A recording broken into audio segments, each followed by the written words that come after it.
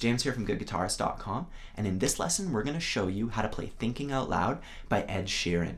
Now, this song, I know it's already a few years old and I'm a bit behind, but in reality, it's a great song. It's stuck around for a lot longer than most songs do nowadays, and it's awesome. It's wedding season coming up. We're going to hear this at a ton of weddings. I'll probably have to play it at a few. So I think it's time to just kind of brush up on it and get it going. When I was researching for this video, I checked out a couple of different sources. There's the original music video, and there's also a studio performance. And if you just type Thinking Out Loud in Google, it's a super popular video. It's probably like the second or third one. And it's just him in a studio playing it. Now, the reason why I'm bringing this up is because in the original, he plays it in D. But in the studio version, even though it looks like he's playing a D chord, his guitar is tuned down a half step, so it actually sounds like D flat. So we're going to go section by section. The first bit is the verse, and the verse has four different chord shapes. First, there's a D chord, and he doesn't really play the highest string. He kind of just plays the second, third, and fourth string. Next is D over F sharp. So we can keep this finger down, use it as a guide finger, and we're gonna place the rest of our fingers this one just makes a D chord. So we kind of just swapped it out for that one. And then our first finger is freed up to play the second fret on the low E string. Once again, try to avoid the top string. So switching from D to D over F sharp. Next, we're going to play a G chord. And if you check out the acoustic version of this, he just goes like this to play his G chord. Just one finger. And really, this finger is muting the A string. And since he's finger picking, he's avoiding hitting the highest string, or you could just touch one of your other fingers to it so that it doesn't make any noise. So he plays a G chord, and you can just play it any way you want it. It's gonna sound like G regardless. But that's just the way he plays it, in case you're wondering. And then after that, he switches to an A chord. And for the A chord, he plays it like that. And normally I'd give you the option to play it this way, but we're gonna add a lick to that A chord. He plays, so you kind of do need to bar it with one finger. So we'll, we'll review the chords one more time. He plays D, D over F sharp, G, and then A. And the way that we change chords, or the rhythm that we change them in, is quite important because we're changing them on an off beat.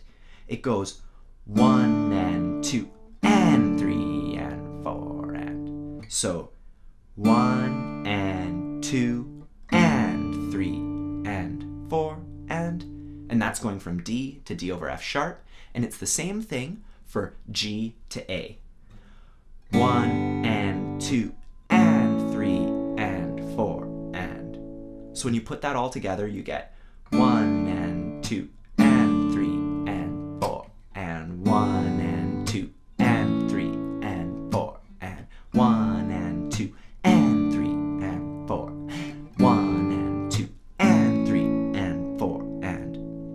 his style is a bit of a mix of finger picking and strumming with the outside of his fingers and plucking with his thumb. So starting off with our D chord, we're gonna play, we're gonna skip the first string we're going to go straight to the second string and we'll use our second finger for that. Third string, first finger, and then our thumb on the fourth string. And then from there, we're going to do a smack on beat two. And we have a video that goes over this uh, in detail. You can check that out below. But basically all we're doing is just bringing down our hand on the strings to make a smack sound. So one and two, and then on the and of two, D over F sharp. And our fingers, we're gonna have our thumb on the lowest. We're gonna skip that one. We're gonna put our first finger here on the fourth string, middle finger on the third string, then our ring finger or our fourth finger on the second string. So we have these strings here. And when you're doing your smack, try to get these fingers as close as they can to those strings so that you can play it right away because one and two and it's pretty quick. It's right after that smack. Then we're going to play the root one more time and then do a smack. So for D, we pluck these three strings, one and two and three and smack. Then we'll do the exact same thing for G to A. So on the G chord, we can leave our fingers where they were. It's the same notes or the same strings that we're plucking as D over F sharp. So here, got those ones. And we're just gonna play one and switch to the A for and, and three, and then we do the lick. And on the A chord, we're just plucking the middle four strings. So it's pretty much the same as G, except we moved our thumb to there. So when you put that all together, I'll do it super slow. This is what it looks like.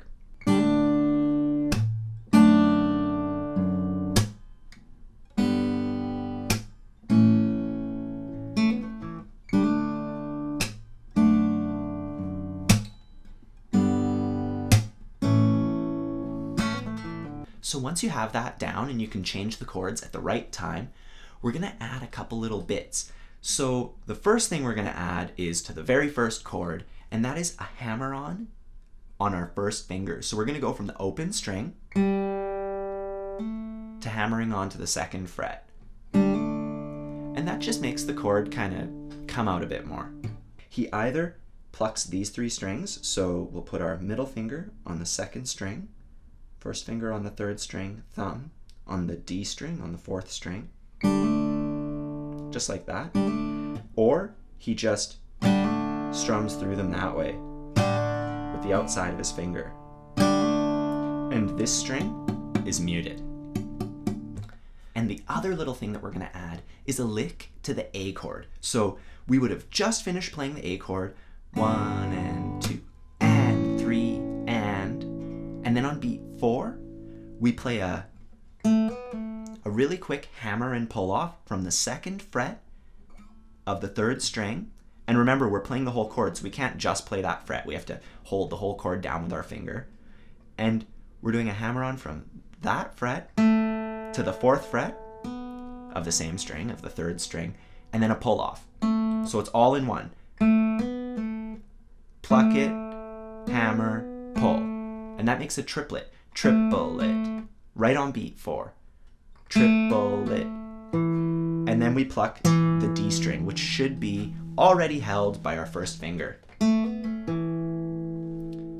So when you play that in time, one and two and three and triplet and. See, it's really quick. That was even a bit slower than the recording. One and two and three and triplet and. So the picking for that, he actually plays that with one finger. He strums and does the pull off thing and then picks the fourth string. If you want, you could do it in a bit more of a controlled way by just plucking. We have our thumb on the fifth string, index, middle, and we're just gonna go. So root, both these strings, do the hammer on, pull off, and then pluck the fourth string.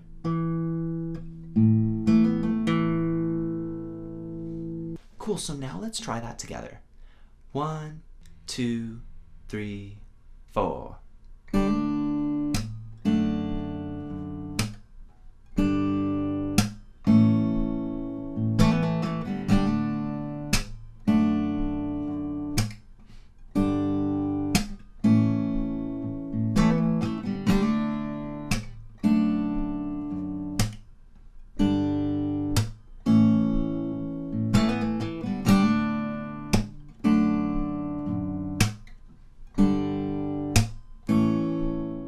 Next, we have the pre-chorus, and for that, we're gonna have to learn a couple new chords.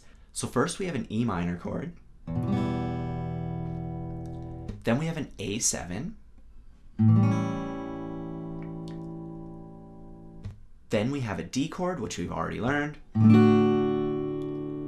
And a B minor chord. Now, B minor is a bar chord, and that is the most difficult chord in this song as far as physical strength is concerned. Um, there's a way around it though. We don't have to play it like a bar chord. We can actually just press down three notes from it. The second fret of the fifth string of the A string, the fourth fret of the D string, and then we're not going to play this next one. We're actually just going to let the bottom of this finger touch it a bit so it gets muted. And then we play the second, or the third fret, I mean, of the second string. And we're going to mute the top one as well. So even though we're strumming all five of these strings, we don't have to get these two. Just those three, and it'll still sound like a B minor chord. It's a B minor shell. It's like a kind of a framework of the voicing. We haven't really filled everything in, it's just the essential bits. If you want to learn the bar chord, we do have a series of videos that really in depth teaches you how to get bar chords and how to navigate all along the fretboard. So there's a link down below, you can check that out if you want. Otherwise, let's move on and figure out how to play this. So first we go E minor and then we change to A7 and D. And that's pretty straightforward, just one, two, three, four on E minor, then one and two and three and four. And so it's the same rhythm as in the verse between the A7 and the D chord. We're going one and two and three and four and next we're gonna go back to E minor for four beats. One, two, three, four, and then A7 for four beats. One, two, three, four. So we're halfway through it. Next, we're gonna play E minor again. We're always kind of going back to E minor here for four beats. And now here we're gonna go from A7 to B minor. One and two and three and four and so it changes on the and of two just like every other time. One and two and three and four and and then we go back to E minor for four beats. One, two, three, four. And here it's a bit different. Here we play A7, but we just build up. So we're just gonna play downstrokes and we're gonna go one and two and three. So we just do a big one right on three. Otherwise, we're just counting up. One and two and three. And that'll get us into the chorus. So the rhythm goes like this. We start out plucking the strings, and you can pluck any ones you want. You can hit the top three in the root, or these three. Not any ones, but either of those. And the first stroke is like this. Pluck, then we do an upstroke with our fingers. Just a really gentle one, just on the top few strings. Not on everything, just the top ones. So, and then smack. Pluck, up, smack. And then after that, we go root. So just a pluck with our thumb, root, and then down, down, up. And when you put it all together,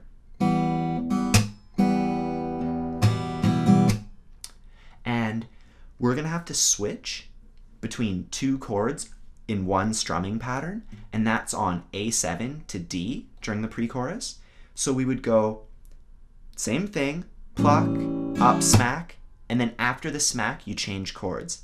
Up, root, down, down, up. So.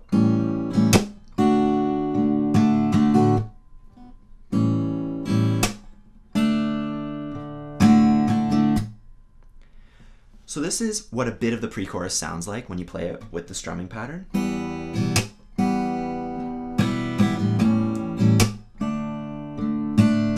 Cool, so now let's try that together. One, two, three, four.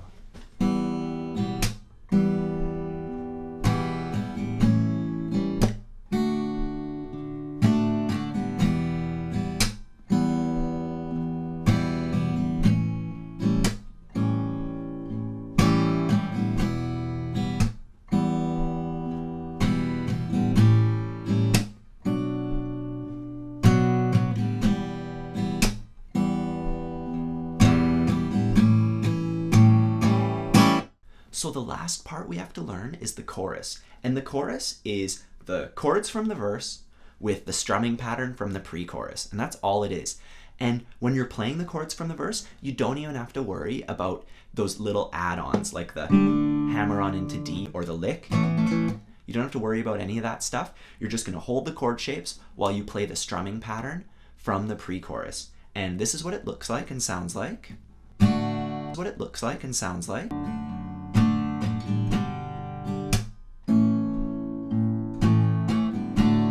So once you've played through the whole progression four times, there's a tag or an ending on the chorus, and that's the maybe we found love right where we are.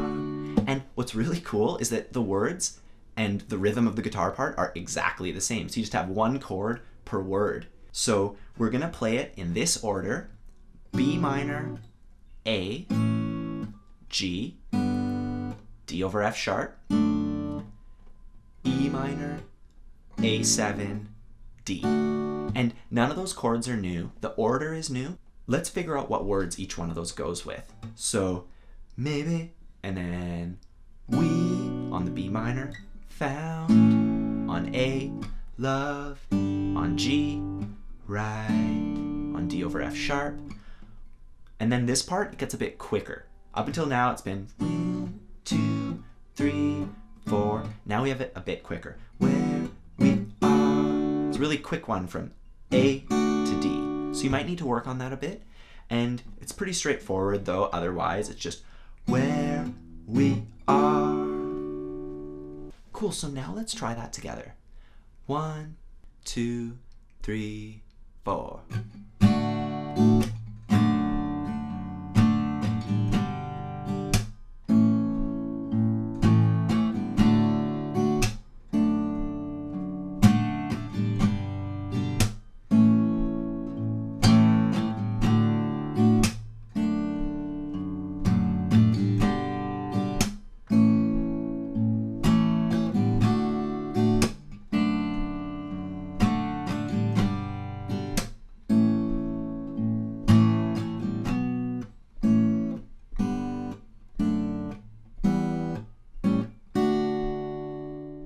All right, now that we can play along with every bit of this song, let's figure out the order that we have to play it in.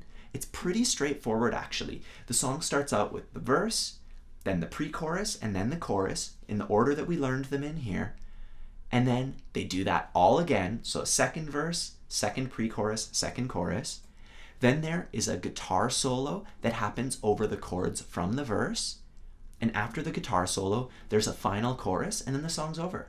So pretty straightforward. That's the order you can practice it in. Um, I recommend now printing out the lyrics to this song, writing the chords over top of it. So you might have to double space it or triple space it.